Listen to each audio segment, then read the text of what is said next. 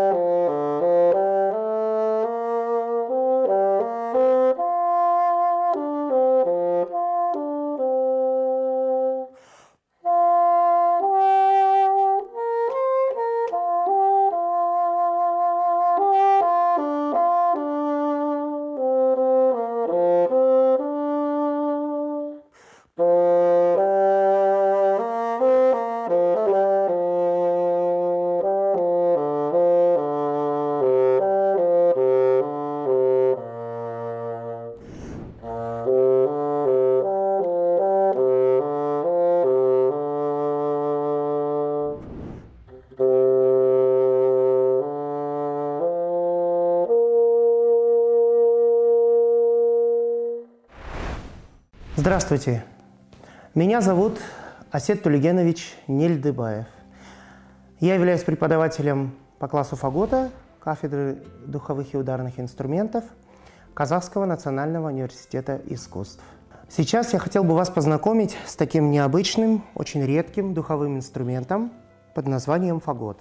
Очень сложный инструмент. Не верьте тому, кто скажет, что это очень легкий инструмент. Во-первых, он даже физически, он весит очень где-то 6 от 6 до 8 килограмм достигает. Я хотел бы вам сейчас рассказать и показать, из чего состоит сам этот инструмент. Он необычный. Ну, для начала, конечно же, объясню, что фагот э, просто так не играется. Он играется вместе с ремешком. Вот такой ремешок. У всех разный. Кто-то одевает его на шею, кто-то одевает его на плечи. Вот. Конечно, самое удобное на плечи, потому что когда ты одеваешь на шею, все твои э, сосуды, они немножко зажимаются. Из-за этого звук становится гнусавым, и вам самим будет очень сложно на нем играть. Изначально фагот, вообще источников достоверных, точных э, на сегодняшний день не существует.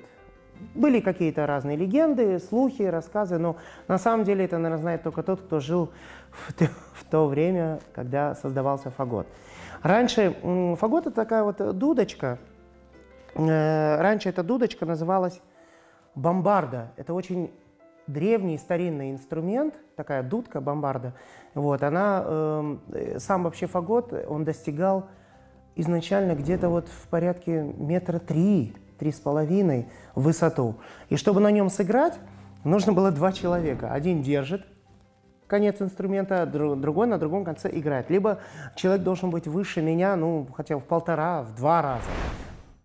어...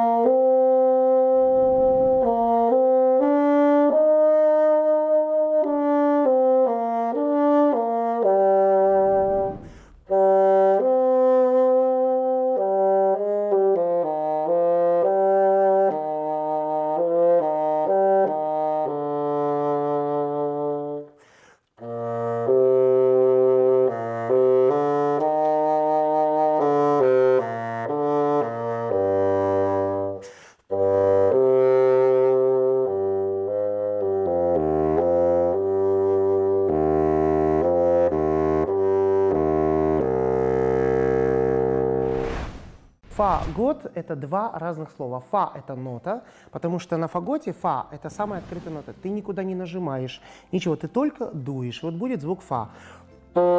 И все, ни, ни, ничего, ни одного клапана, никакого отверстия ты не нажимаешь. А год – это Бог, поэтому ну, либо божественная фа, либо Бог ноты фа. Вот. Ну, мы иногда музыканты шутим, говорим, фа год – это значит ребенок год учится играть ноту фа. Но это шутка, конечно. Ну а сейчас я вам расскажу, как устроен фагот, как он собирается, как он разбирается. Сейчас вот S сюда, трость сюда. Вот смотрите, несколько частей. Так как он, и мы когда его измеряли, получилось 2 метра 65 сантиметров фагот. Но это мой фагот. 2 метра 65 сантиметров. Представляете, какой он в длину? Почти 3 метра. И действительно, на нем должен человек очень большой, очень огромный играть. Ну, чтобы У нас современные люди, они очень маленькие ростом, не так, как раньше было в древнее время, например, атланты люди. Ну и вот, вот на столько частей примерно делится фагот.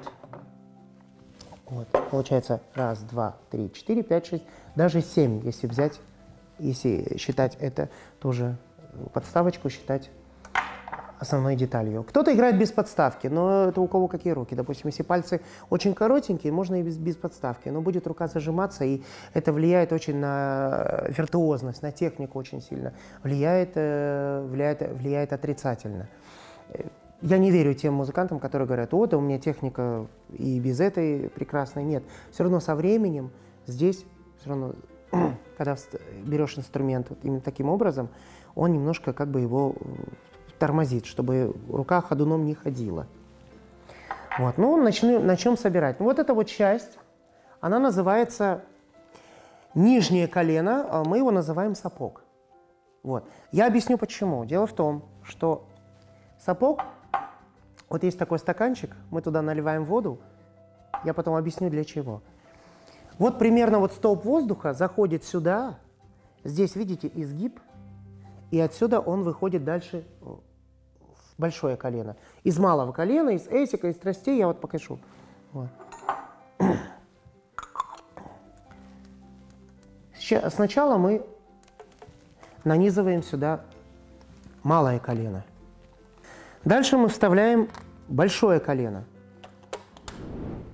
Большое колено, и вот здесь есть такой вот как бы рычажок, как бы такая щеколда, чтобы он тоже ходуном не ходил.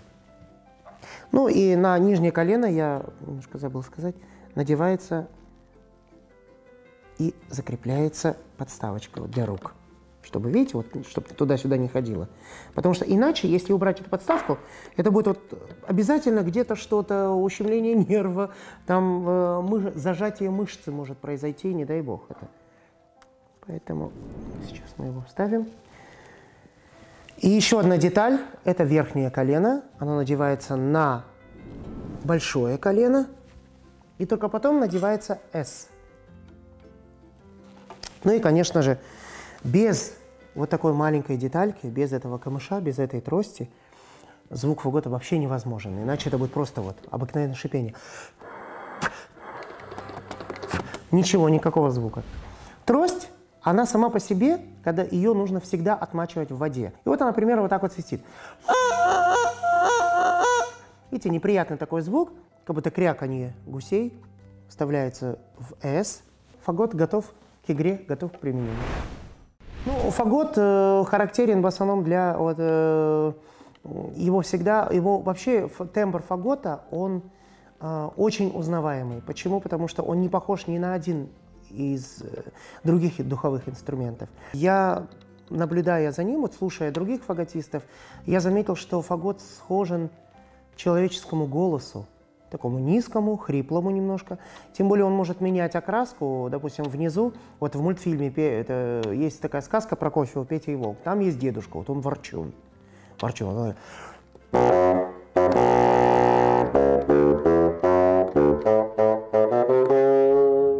Вот это вот как бы ворчит, все это внизу, все это.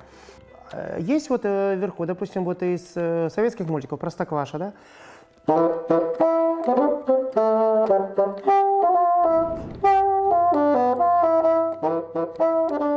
Вот примерно вот такой вот тембр фагота. Чем выше идет звук, тем он более зажато и гнусаво звучит.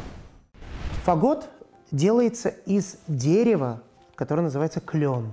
Он не растет у нас, этот клен, он растет в дальнем зарубежье. Сам фагот не используется на эстраде, его редко увидишь на большой сцене.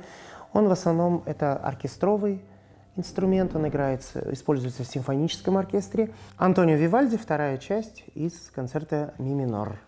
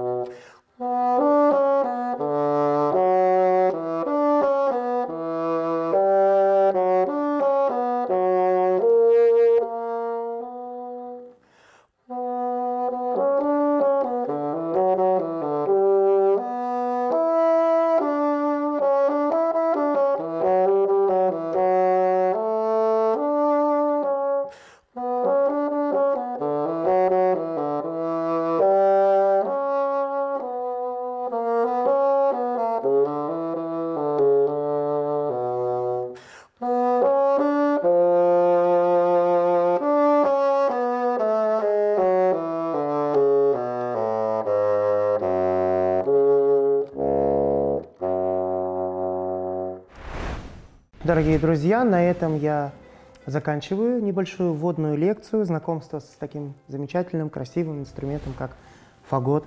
От себя я только хочу пожелать и рекомендовать всем родителям, чтобы они детей отдавали в музыкальную школу, потому что образование музыки – это культура, это воспитание, оно никогда не помешает. Вот. И на этом я заканчиваю. Всего вам доброго, до новых встреч. Thank you.